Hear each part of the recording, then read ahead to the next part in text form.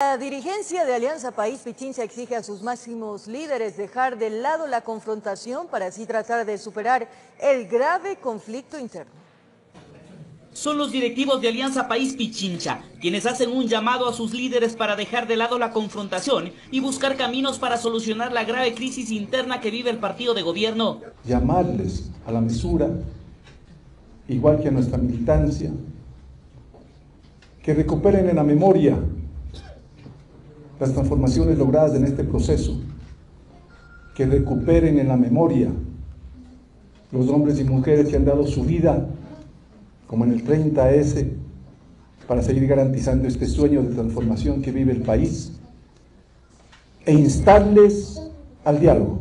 Ellos dicen que no toman partido por ninguno de sus líderes. Lo único que buscan es que se defienda el llamado proyecto político por eso les, les, expresamos a los tres máximos dirigentes nuestro malestar, malestar como militantes.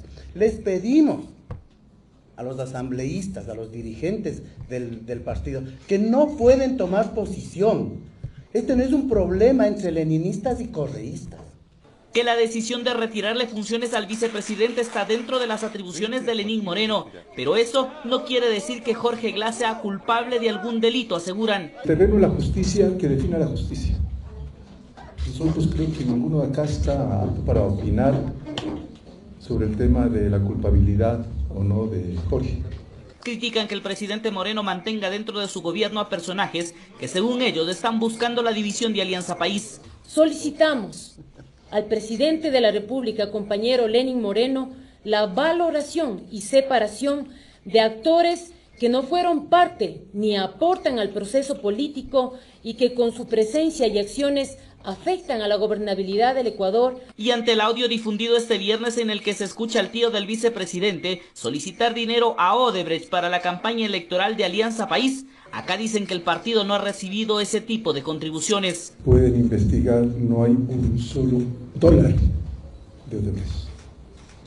Ahí sí aporte de la militancia, ahí sí aporte de los simpatizantes, pero de Odebrecht las puertas abiertas, un solo dólar. La dirigencia de AP Pichincha espera que las profundas diferencias que han surgido entre sus líderes se puedan subsanar para evitar así una ruptura definitiva. Informó Javier Gallo.